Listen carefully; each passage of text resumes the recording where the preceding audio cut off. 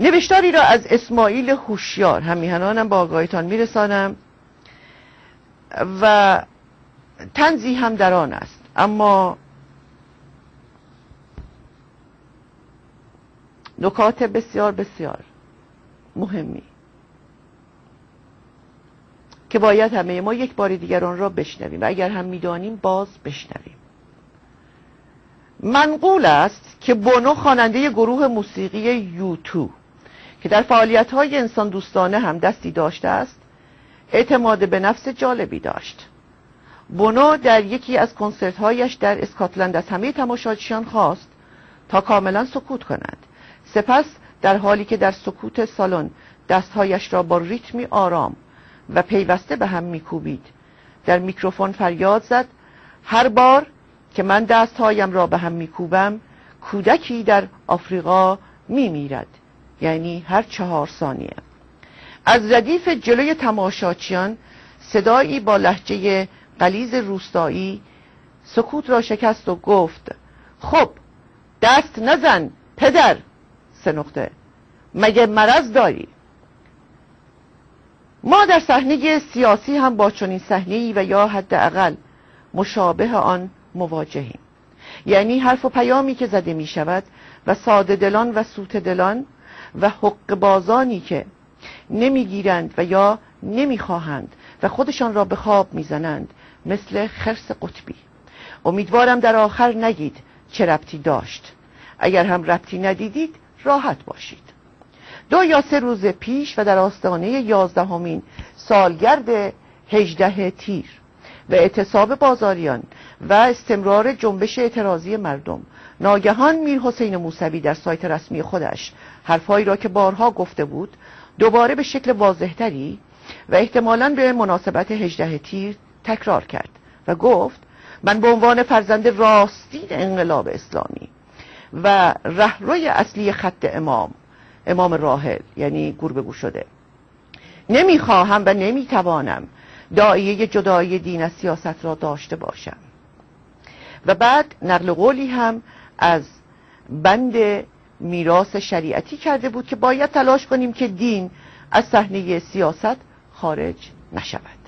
هرچند شریعتی مربوط به چهار دهه قبل بود که هنوز از برکات اسلام ناب انقلابی مردم چیزی نمی‌دانستند. ولی مردم چیزی نمی‌دانستند. ولی مهم نیست.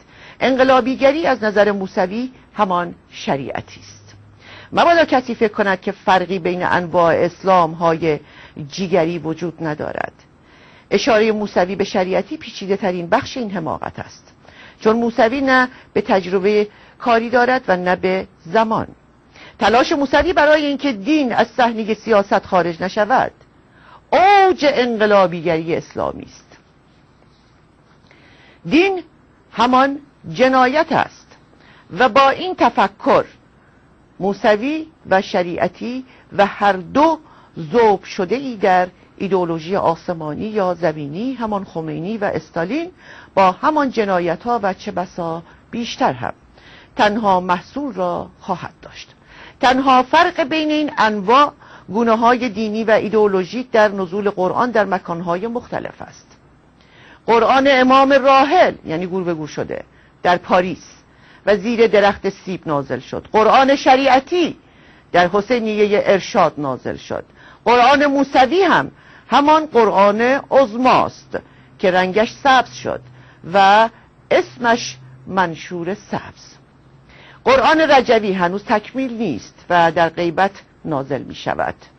بن لادن و سعودی و مشرف و بقیه مسلمین هم قرآن خودشان را دارند که محل نزول هر کدام در موزه های مختلف ثبت شده است. فعلا بگذاریم این اظهارات موسوی عجیب نبود ولی جالب بود. جالب بود چون خیلی از سایت ها و میدیای آنچنانی اصلا انکاسی از این نظرات ندادن. طرف ندارد دیگر این که چهره کثیف سید موسوی را چپ و راست نشان بدهند و علم سبز از این سو خیلی رومانتیک پرواز کند برود از آن سو در بیاید. این اظهارات موسوی عجیب نبود ولی جالب بود جالب بود چون خیلی از سایت ها و مدیای آنچنانی اصلا انعکاسی از این نظرات ندادن. آن دو سایتی هم که انعکاس دادند فردایش جمعش کردند. و در عوض تا دلتان بخواهد نظر موسوی راجع به رفراندوم اتمی. پر شده از هم سایت ها از جپ ملی چی مصدقی چی ها و فردخ نگهدار چی ها و هر کسی را که بتوانید تصورش را بکنید. رفراندوم اتمی. باید گفته است رفراندوم اتمی کنیم. سید. و همین بازی ها را انعکاس دادند. موسوی خودش هم می‌دانست. که از ابتدای شروع اعتراضات مردمی وصله ناچسب رهبری جنبش به او نمیچسبد ولی چسباندند. خیلی ها به خصوص در خارج زور زدند. بادش کردند فوتش کردند ولی نشد. به پاری تر امام مگر به سادگی از این وصله ها میچسبد؟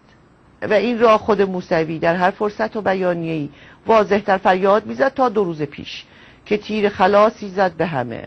شغل شریف همهشان از تیر خلاص زنی. همه جا تیر خلاص می‌زنند. اعم از روستاییان ساده دلی که کاریکاتور موسوی را به شکل کاوه آهنگر کشیده بودند و منتظر معجزه نشسته بودند تا بقیه که روشنفکر و اپوزیسیون و سبز خارج از کشوری را یدک میکشیدند و جیک نزدند. حساب مردم در داخل ایران از ابتدای شروع جنبش هم مشخص بود. مردم ایران کار خودشان را کردند و می‌کنند. چه با بازار تهران و چه با هر بهانه دیگری.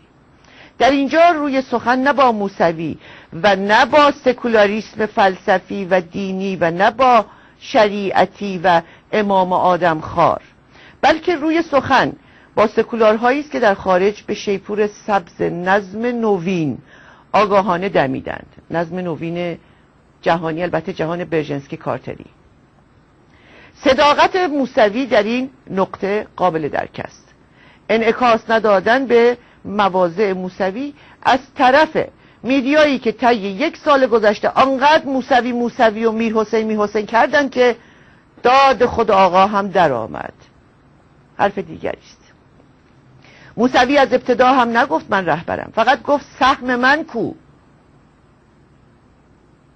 بریز مای ووت در واقع یعنی سهم من کو.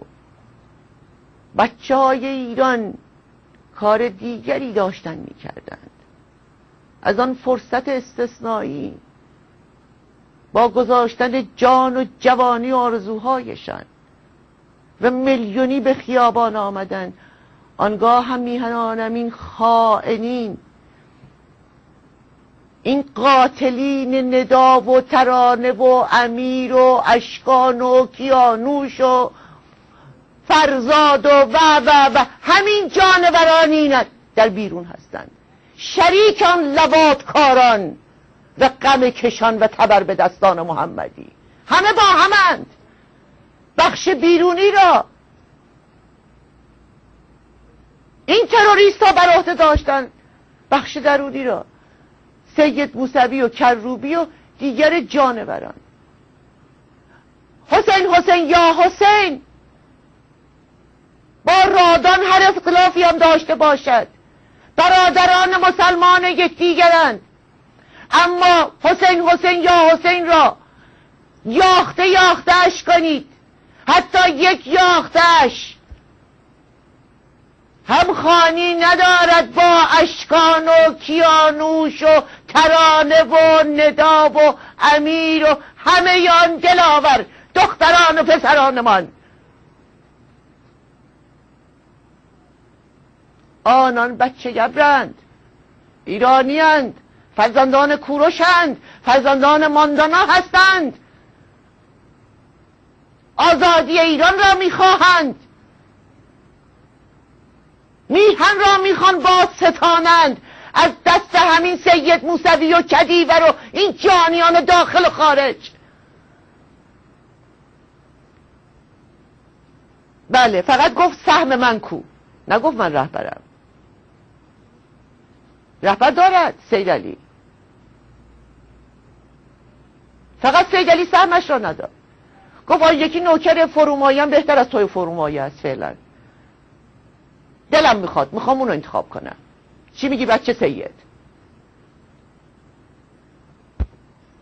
پایبندی موسوی به ارزش های امام راحل یعنی گور به گور شده. و قانون اساسی اسلام یعنی مانیفست جنایت و آدم خاری. و حالا هم بند میراث شریعتی و اسلام سیاسی. به ریش موسوی مربوط نیست. به ریشه اش ربط دارد. هشتیقه هم اصلاح کند. به ریشه اش ربط دارد. کراوات هم بزند. مانند این مفزرداران جانی که اینجا و آنجا در اپوزیسیون آمدن نشستند. ریشهشان همان است. با کراوات بی کراوات. با ریش بی ریش. با سیلیکون با چادر به دندان گرفته.